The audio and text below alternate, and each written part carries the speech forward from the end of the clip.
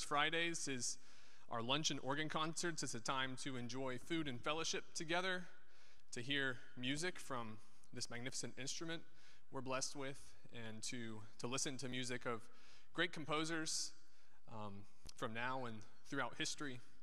And this season, we'll have some of our traditional programs um, Christmas in December, the organ scholars at the end of the season. Um, in March, Bach's birthday month, we'll have an all Bach program. And we have some guests that'll be joining us throughout the season. Frank Dodd will play a program in November, and then later on, Colin Howland.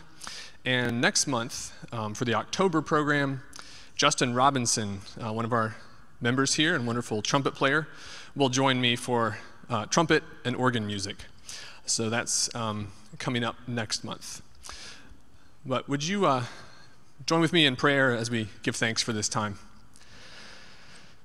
Heavenly Father, we thank you for this beautiful day. We thank you for uh, the food that you provided that has been enjoyed, and we thank you for this time of listening to music. Thank you for the gift of music. And you created us for the purpose of glorifying you. So we pray that you will help us to do that in this time, that as music is, in, in playing music and in listening to music, that we would bring glory to your name. And we pray this in Jesus' name. Amen. So um, today, I'm going to play music of French composers um, from a very rich period uh, at the end of the 19th century, turn of the century in Paris. Um, some of my favorite organ repertoire comes from that period. Um, but today we have pieces from Tournemire, Widor, and Dupre. They all would have known each other. Uh, Widor taught Dupre and Tournemire, and uh, Widor and Dupre were at the same organist at the same church. Um, and Tournemire was uh, an organist at one of the cathedrals as well. So we'll start with Charles Tournemire's improvisation on Victimae Paschali Laudes. Uh, Victimae Paschali is an 11th century hymn, um, translated praise to the paschal victim. So it's a, it's, a it's a hymn of praise to Christ for his redeeming work, for his death and resurrection as the sacrifice for our sins. I can play this improvisation that Tournemire first played because another French organist of the time, Maurice Duruflé, wrote it down. So this was early in recording technology. They actually recorded Tournemire giving this improvisation. And in fact, the wax cylinder got toward its end in the middle of it. There's a big pause in the middle where they had to change out the cylinders so they could keep recording. But, um, but the improvisation really reflects the, uh, the victory of the hymn. Um, it's, it's a very grand and, and passionate improvisation in the French style.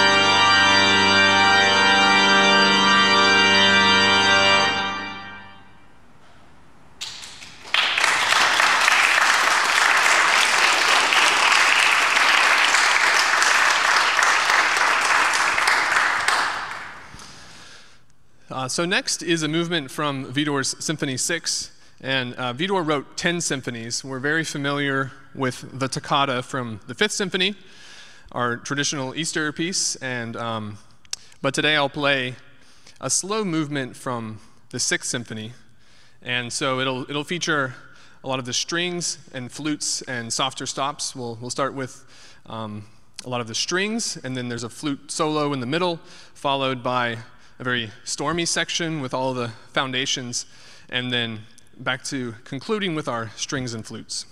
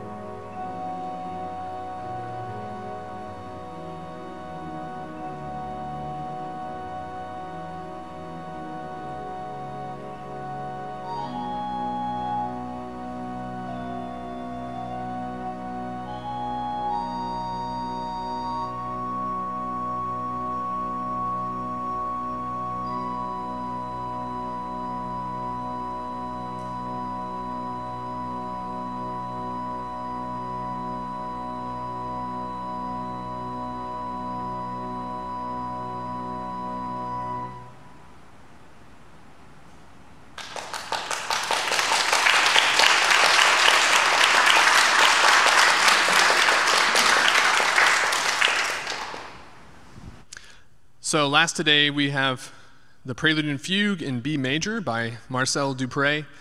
Um, the Prelude and Fugue genre, of course, was, um, we, we know it is probably most well known from Bach and his many preludes and fugues, but it's, it's been explored by virtually every keyboard composer. And so Marcel Dupré was an organist at uh, one of the cathedrals in Paris, but also a um, concert organist and, and, virtuoso, and wrote numerous, numerous compositions, including a set of three preludes and fugues. So the prelude and fugue in B major um, is characterized by intervals of the fourth and the fifth. So he builds all his harmonies around that open sound. Um, but the keys kind of take on different characteristics, and when you look at all the different composers, preludes and fugues, you, you see common threads for you know D major, for instance, or C minor, um, for the character of those pieces. I've found, um, but this B major prelude and fugue is um, it's it's very joyful and energetic, and I hope it uh, maybe even puts a little smile on your face.